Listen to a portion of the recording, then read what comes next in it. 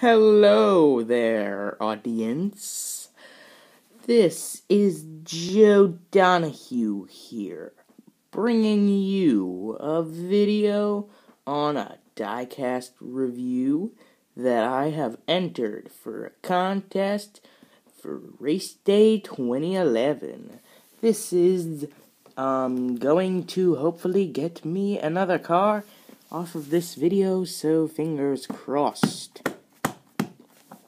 So, for the diecast review, I am going to diecast review Brad Keselowski's 2013 Ford Fusion.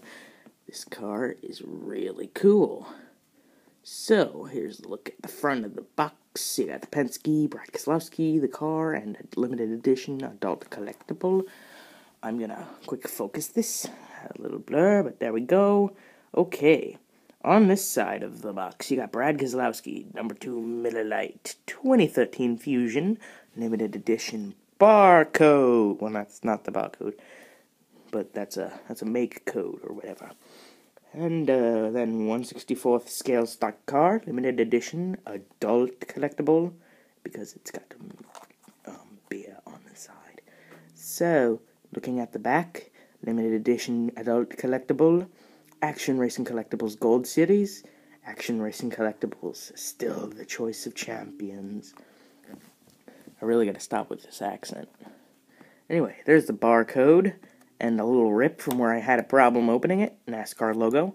Another rip where I had a problem opening it, and I'm gonna take it out of the box. So, I got this car from Tan Racing Collectibles off of eBay.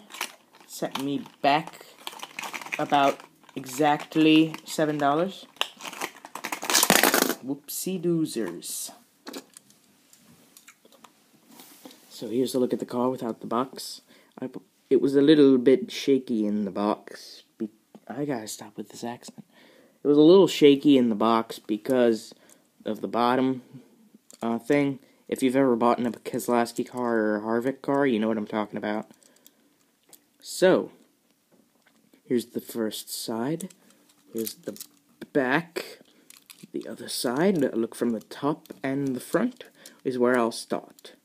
Okay, so you start here with the fusion word, um, the radiator sticker, um, the headlights, and the fog lights with a 2 over here. This is about the coolest looking car I've ever bought. Just saying now. I'll say it again later. Here's Ford. It's a little offset. And then Pennzoil, followed by Miller Lite. On the windshield. Wait for it.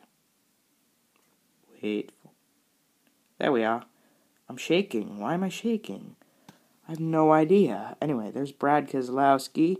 Why am I shaking? Um his name on the windshield. There's the two on the top. The deck lid has the word worth on it. And the back says it's Miller time with Ford and a two and some headlights. Well, those are tail lights. So, we'll wait for focus. Will it focus on its own? No, it will not. So, now that it's in focus, I'll talk about the side. Here you see tendencies beer behind a 2, Discount Tire and SKF, Snap On, American Ethanol, It's Miller Time, Brad Keselowski, Carlisle. Um, hang on. Ford, PPG, something I can't read, and Pennzoil.